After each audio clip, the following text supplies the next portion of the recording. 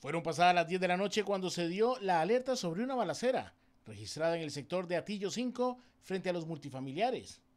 Cuando los socorristas llegaron, se toparon a dos hombres dentro de un automotor, ambos con múltiples impactos de bala, los cuales le provocaron la muerte de forma inmediata. Cuando llegamos efectivamente dentro de un vehículo acá en el sector de Atillo 5, hay dos masculinos dentro de un vehículo con múltiples impactos que aparentan por arma de fuego los mismos ya sin signos vitales.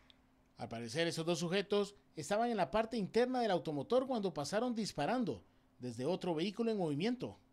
La versión que se maneja es que se trata de un ajuste de cuentas por temas dirigidos a la venta de drogas en la zona. Se nos da un aviso sobre dos personas eh, que son ultimadas a través de eh, armas de fuego en el sector de Atillo, concretamente en Atillo 5.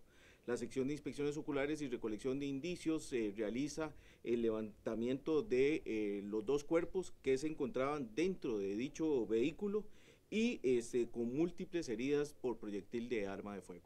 De, momento es muy preliminar la, investigación que se está realizando. Ellos se encontraban dentro del vehículo en las afueras de un lugar eh, conocido donde se compran eh, alimentos rápidos y este, fueron interceptados por una, dos sujetos en motocicleta que le disparan en múltiples ocasiones y fallecen los dos sujetos en el lugar. El caso se mantiene en investigación por parte de las autoridades judiciales, quienes se encargaron del levantamiento del cuerpo y el traslado hasta la medicatura forense.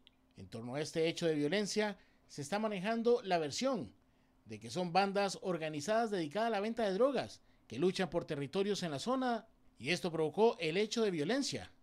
Cabe mencionar que este es el segundo hecho similar que se presenta en las últimas 48 horas, pues el pasado viernes en horas de la noche, dos jóvenes fueron asesinados dentro de un vehículo, pero esta vez en el sector de Pavas.